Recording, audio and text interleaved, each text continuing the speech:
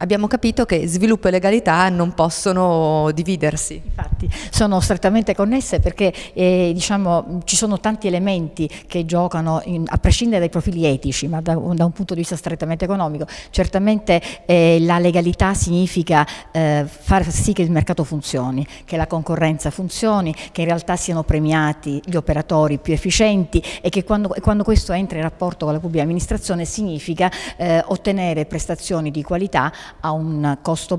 diciamo, eh, con ragioni economiche convenienti e quindi utilizzare bene eh, le risorse dei contribuenti. Non abbassare continuamente il prezzo e quindi avere una base d'asta eh, decente, questo è un po' quello che è stato il, eh, quello che mm, molti imprenditori vorrebbero, in modo da garantire comunque una qualità. Come eh, si può ottenere? Beh, diciamo che mh, molto dipende da settore a settore perché i bandi sono chiaramente calibrati rispetto ai settori di intervento e qua c'è gio in gioco mh, da una parte la professionalità delle pubbliche amministrazioni e quindi di coloro che nell'ambito delle pubbliche amministrazioni eh, diciamo, definiscono i bandi di gara anche se ormai ci sono bandi tipo, l'autorità di vigilanza sui contratti pubblici definisce bandi tipo che costituiscono per le stazioni appaltanti un orientamento importante. Peraltro eh, la tendenza a, eh, ove possibile, ad accorpare le stazioni appaltanti, evitare la polverizzazione delle stazioni appaltanti perché non sempre la professionalità eh, richiesta da questo settore eh, e, diciamo, può essere presente in piccoli, eh, in tutte le piccole stazioni appaltanti. Poi c'è un aspetto, l'aspetto che diciamo, molto spesso eh, eh, la, il, il, il, prezzo più basso è una regola eh, di cautela che evita che l'amministrazione la, possa rischiare con una valutazione più ampia che invece deve fare conto della qualità, e ma questo necessariamente non garantisce poi il risultato finale. Eh,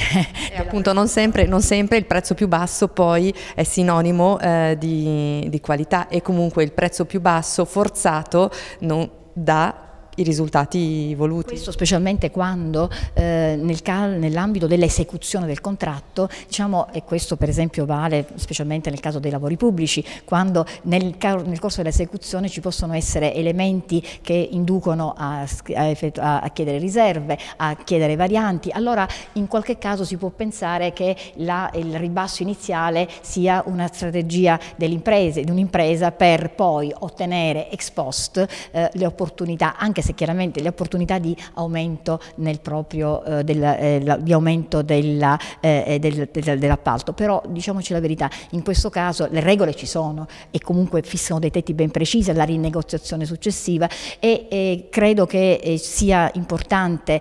l'assunzione di responsabilità, nel senso di tenere conto che la pubblica amministrazione non, non deve semplicemente essere orientata ad adempiere, ma che l'adempimento, quindi l'applicazione delle regole, deve essere essere finalizzata al risultato e quanto più eh, un eh, diciamo, amministratore pubblico è valutato sul risultato, quanto più sarà orientato a perseguirlo.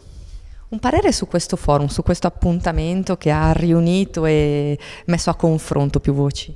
Ma eh, io credo che occasioni di questo tipo siano sicuramente importanti, tra l'altro il vostro settore è un settore che è diciamo, economicamente rilevante, che riguarda una gran quantità di addetti e anche un giro, eh, di, affari, un giro di, di, di, affari significativo. È importante per una ragione, perché è, ehm, è importante che problemi complessi vengano guardati da angoli visuali diversi. Molto spesso nel nostro paese ecco, ci può essere la tendenza a concentrarsi soltanto soltanto su alcuni profili che sono quelli per esempio del formalismo giuridico, ecco, far sentire voci che riguardano anche la consapevolezza delle problematiche economiche che sono coinvolte, della eh, diciamo, necessità che queste problematiche non, ri non, rimangano soltanto per pochi addetti, ma che sia eh, indispensabile una consapevolezza diffusa e quindi il ruolo che l'informazione può avere per i privati cittadini perché sono contribuenti, per le imprese perché perché sono diciamo, interlocutori stabili della pubblica amministrazione